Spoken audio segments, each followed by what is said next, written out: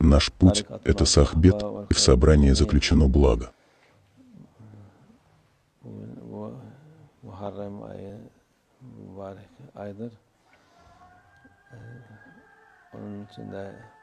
Месяц Мухарам — это священный месяц, и самый священный в нем день — это десятое Мухарам. 10. günü Вот почему наш святой пророк, да благословит его Аллах и приветствует, советовал нам поститься в этот день.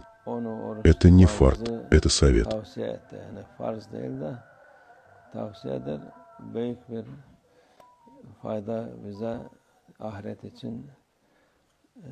Он дает нам огромную пользу в Ахирате. Тогда нам будет сообщена благая весть о рае. Кто бы ни постился в этот день, ему будет сообщена благая весть о рае и прощены грехи за прошлый год. Из милости к нам Аллах создает такие возможности, чтобы простить нас.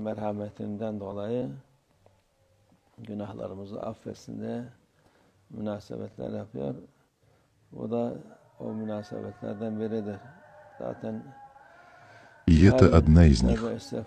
Если вы будете каяться и просить прощения каждый день, ваши грехи будут прощены. Ангелы не записывают их до тех пор, пока не пройдет 8-10 часов, чтобы люди раскаялись и попросили прощения, и тогда их грехи будут прощены.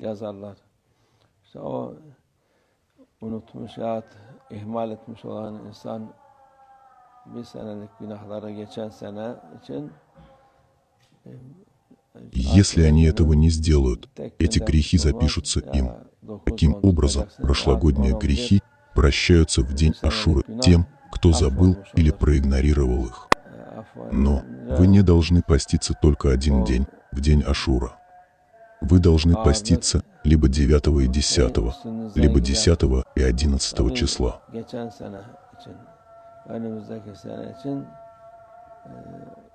Gene tövbe estağfar etmek lazım. O e.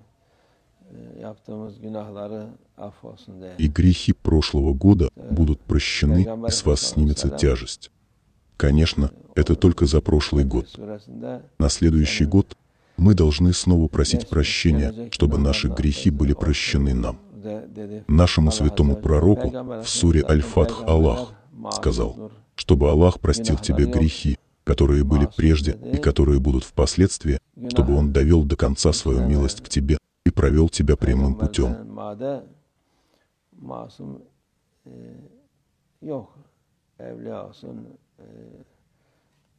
E, sahabe olsun. В любом случае, пророки безгрешны. У них нет грехов. Непогрешимость означает, что они не совершают грехов. Нет такого человека, который никогда бы не грешил. Аулия, Сахабы и Ахлю Аль-Байт – все они рангом ниже нашего святого пророка. У них нет этой непогрешимости.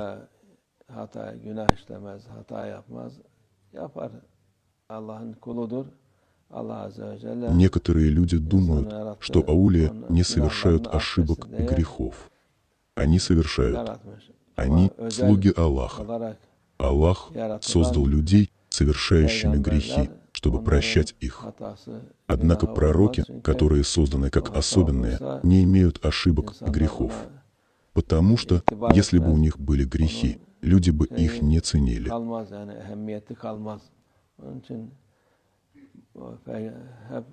Несмотря на то, наш святой пророк, да благословит его Аллах и приветствует, не совершал никаких грехов.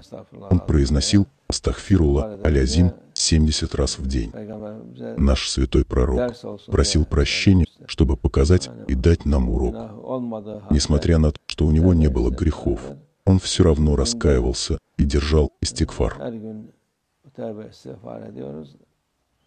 Bu aşure günü 9 onu tutmamız Поэтому мы тоже каемся и просим прощения каждый день. Наш пост в день Ашура, 9 и 10 числа, дает нам большое преуспеяние, инша Аллах. Ahirette Аллаха Заваджала одарит нас великими наградами в Ахирате. На самом деле, гораздо лучше, если вы будете поститься с 1 по 10 число. 9, 10 ya Если нет, 11. то, по крайней мере, поститесь 9 и 10 или 10 и 11 числа. Kalsam dedi e, Потому что вы не можете поститься только один день. Наш святой пророк сказал, если я доживу до следующего года, я буду поститься два дня. Он не дожил, но тем самым советовал нам это делать.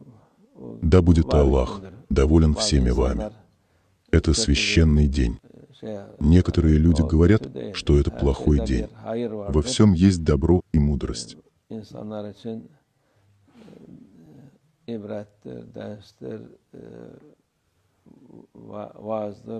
Это пример, урок и совет для людей.